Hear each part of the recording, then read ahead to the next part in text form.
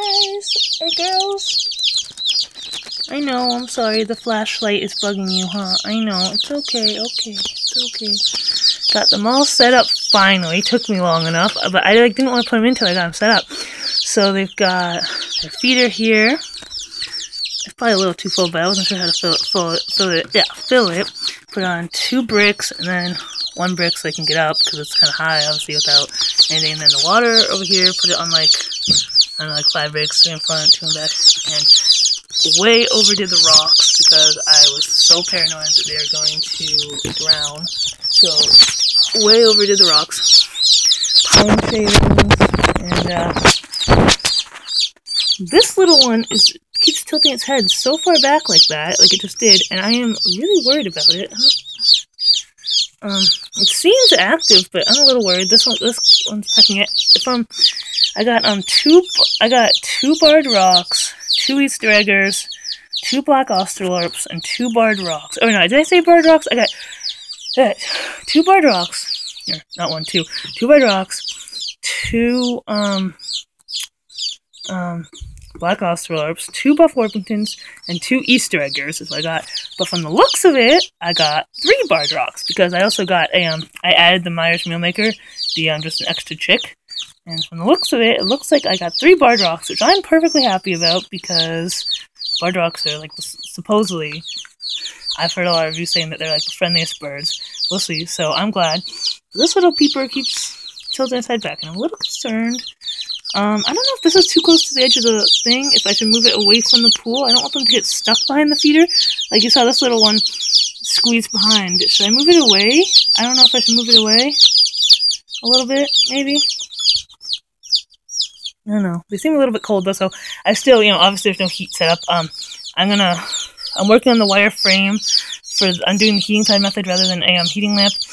So I'm just gonna use their box for now. I'm gonna take the lid off and put the thing on while I work on a wire frame.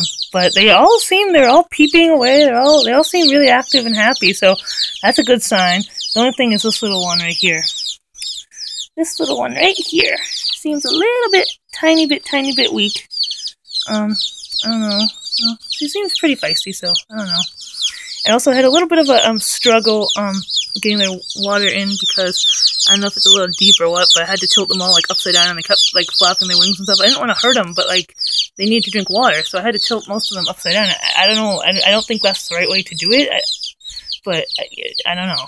They all got water though, so they're all out pecking around. I don't know why they're not. They're not pecking their food. I, I don't know why, but two of them that you saw like this one, maybe one of them. This little one, well, I, I, can't, I can't really tell the difference. But um, one of the little ones was already on top of the feeder from the second I put her in, and the little Easter egger was crawled over here, so they seem feisty. This little guy, I think that's the same one. You can see she's just a big ball of fluff, keeps tilting her head back. I don't know if that's normal for chicks. It's like she tilted like way back. I'm a little bit worried. I, I don't know. Maybe I broke something. Maybe she's cold. I don't. I don't know. I am. Hopefully, when I set up the heating pad, she'll be fine. But as you can hear, they're all peeping very loudly right now. I don't think they like the light, so I'm gonna turn the light off. But they are all peeping so loud. And also, I need to. I'm gonna need to um set up like a wireframe or cardboard or something um just around this thing because we do have, and then maybe like a lid. I can't put a lid on because this go, goes above it, but I got so I got to set up walls or something because we do have. I think we do have mice in, in here. I think no, no real like predators, but mice and rats. I, I, don't know. I don't think we have rats. I think we just have mice. But um, so I gotta set up some little protection. Yeah, they're all very active, but this little one, that one's peeping away though. So I, I don't know. Maybe she's okay. I don't know. Anyways, I'm gonna stop talking and set up the uh, the heating pad because I think they're a little bit cold. They, they included a um, heat pack in there, which was really nice because I wasn't sure if they I didn't you know specifically ask for it, but I guess it's a little bit cold, so they did. So that was really nice. So I am um, I'm gonna um just set up the uh, heating pad thing though. I don't really know how. I, I don't want to like tilt it on its side though. I was just gonna like take the roof off and then I don't know maybe cut a little hole. I don't know how to do with like hay stuff. Also, their poop is like really green. I don't know if that's normal. It's like really green, but they all seem really active and stuff. So I don't know. But yeah, here's my little tricks.